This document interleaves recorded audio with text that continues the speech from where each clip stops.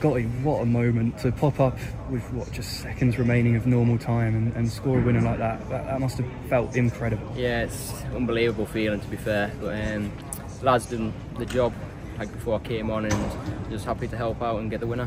Obviously, you got a bit of an unfortunate injury, didn't you? Just as you were kind of getting a bit of momentum Yeah. on the pitch. So, does, is, does this sum up how great it must feel to get back on the pitch? Yeah, it's been hard. It's been eight weeks now, and Mm. it's just just looking back all them long days, not training, and that, and then getting the winner today just sums it up, saying like, how good football is.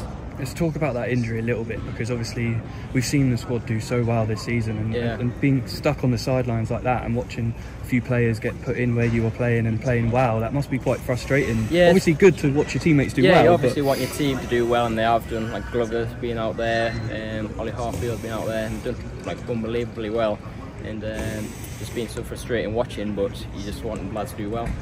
And is a goals part of your game? Is that what you can bring to the I'd side so, then? yeah. no, um, that's one for the season, but hopefully I'll be able to add more.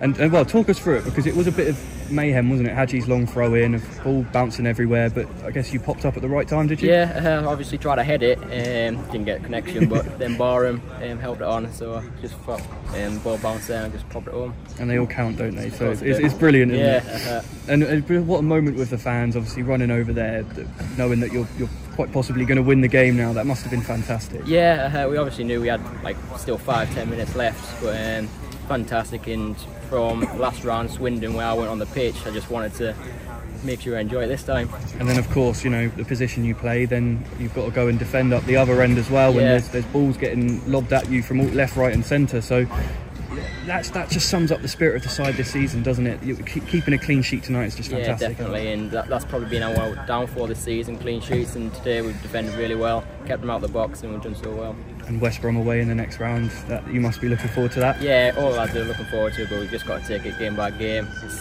similar to this, really. Just do our job and hopefully get the win. And how was the dressing room after the game? It was good, wasn't We, it? me and Lorraine were doing the interview, so we came in a bit later, but we came in, and then we're getting to sit a bit. Enjoy the night, Ollie. Alright, cheers, you too.